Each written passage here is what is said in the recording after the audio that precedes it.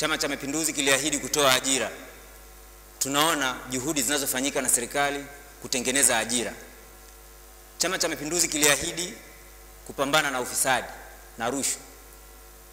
Sasa hivi tunaona kwamba ni watu wa aina gani wanachuchumaa mahakamani, ni watu wa aina gani wanapandishwa kwenye karandinga. Zamani haikuwa utaratibu.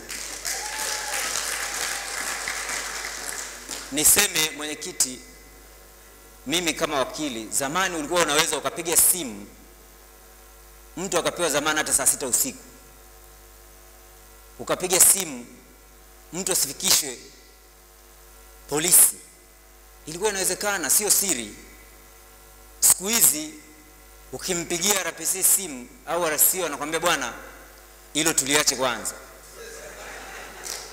anakwambia wewe ngoja twende mahakamani. Ukifika mahakamani, hakimu anakwambia "Ah, ili hapana. At least sasa nidhamu inarudi, uwajibikaji umerudi, kila mtu anatekeleza wajibu wake, na ule na ile kauli yako kwamba hapa kazi tu unaiona kwa vitendo.